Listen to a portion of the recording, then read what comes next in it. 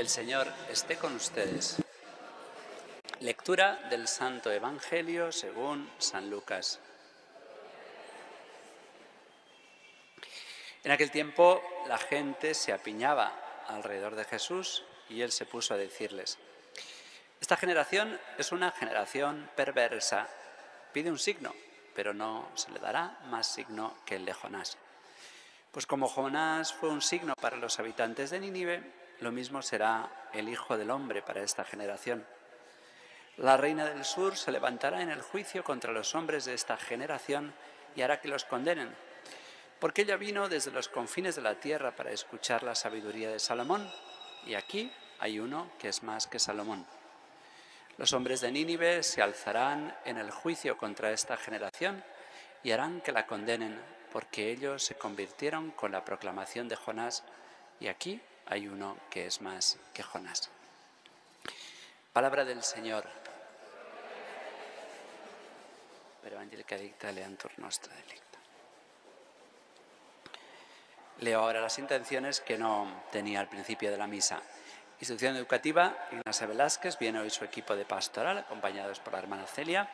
Los, los encomendamos especialmente. También a pa, Paulina Molina, Aurelio Mego, Albina Rico, Edwin Mendoza, Reinaldo Moncada, Fabián Guamán, Felicita Torres, Marilu Bravo, Rafael y Pedro del Águila, Jesús Fernando y Karen Kelly celebran hoy dos años de matrimonio, Lener David Silva, Catherine Joeli López, Nicolás Cabero celebran hoy su cumpleaños y hoy encomendamos el eterno descanso de José Rosa, Marta Domínguez, María Carmen Prado, Carlos León, Roger Velázquez, Asunción Velázquez, Víctor Guevara y María Encarnación Villanes.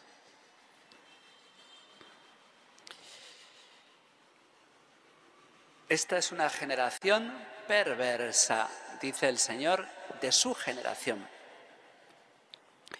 Era un apelativo que ya había usado el Señor para hablar de los israelitas que iban a ser salvados. Es decir, cuando el Señor llama a una generación perversa, no es porque no la quiera, es la generación que está salvando de Egipto.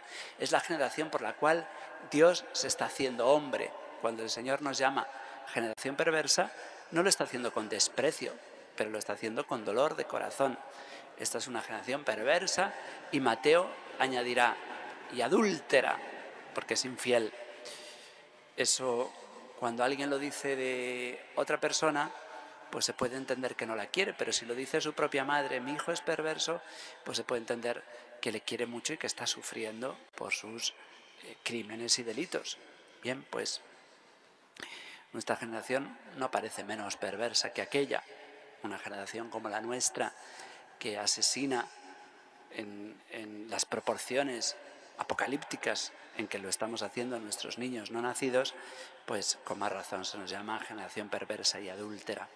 Cuando el Señor nos habla, no es porque esté harto de nosotros, es para movernos a conversión, como quiso que se convirtiera Nínive, una ciudad pagana.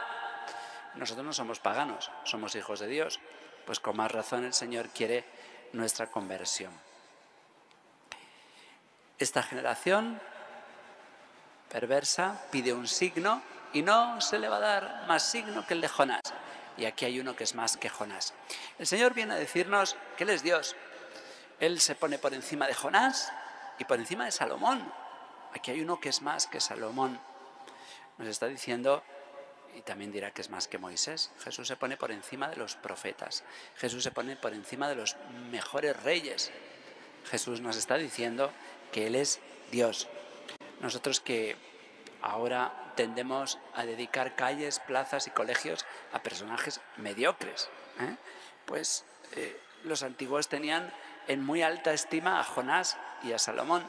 Nosotros ahora pues admiramos a personajes muy, muy, de muy poca monta y por eso ponemos los nombres que ponemos a nuestros hijos, porque en realidad no nos fijamos en los personajes más importantes de nuestra historia, que son los santos. Jesús se pone por encima de todos ellos, de los santos del Antiguo Testamento y por lo tanto, y, también de los santos del Nuevo Testamento. ¿En qué consiste el signo? Resulta que Jesús ya llevamos muy avanzado el Evangelio según San Lucas y ya hemos visto que el Señor tiene poder sobre los demonios, haciendo exorcismos, que el Señor tiene poder sobre las fuerzas de la naturaleza, convirtiendo, nos dice San Juan, el, agua en vino, multiplicando panes, eh, calmando la tempestad. El Señor tiene poder sobre las enfermedades, cura leprosos, cura paralíticos, hace ver a ciegos, tiene poder sobre la muerte, resucitando. ¿Qué más signos queremos? Pues Jesús dice, el último que les voy a dar, el más importante es el mi resurrección.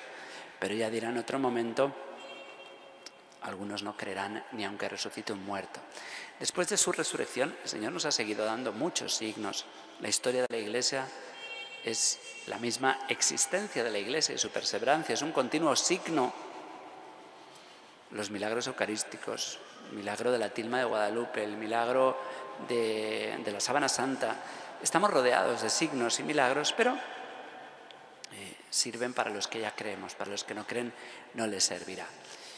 Es absurda esta petición que hacen de signos y por eso el Señor dice esta generación es una generación malvada.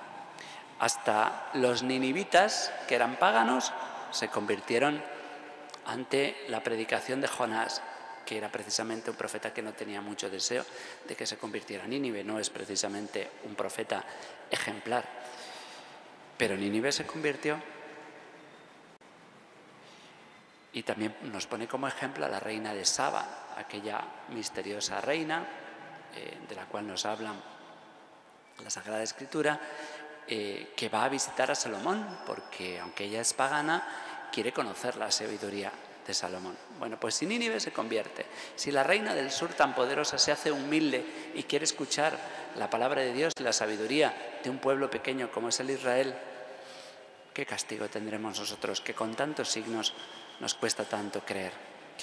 Bueno, pues aquí tenemos otro signo, que es la santa imagen del Señor de los Milagros, que nos que estamos haciendo procesionar, la pequeña por toda la ciudad y la grande a partir del domingo, eh, pues, pues también tendremos oportunidad.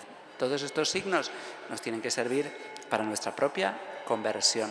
No vaya a ser que a nosotros el Señor nos tenga que incluir en esa generación malvada y perversa.